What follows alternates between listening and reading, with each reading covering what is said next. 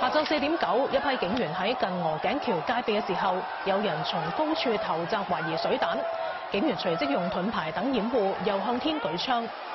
有警員向在場嘅人施放胡椒噴劑驅散，又向人群發射胡椒球彈。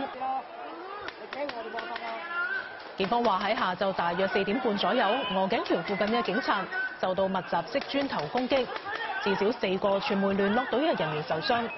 主要傷及腳部同埋膝部，其中一人嘅頭盔中磚。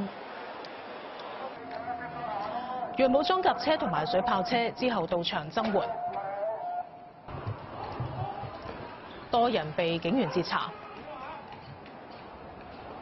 警方話有人喺中午十二點起，有多人喺銅鑼灣同埋灣仔一帶集結，乘機縱火燒雜物，又涉嫌由大廈嘅天台向下掟玻璃樽。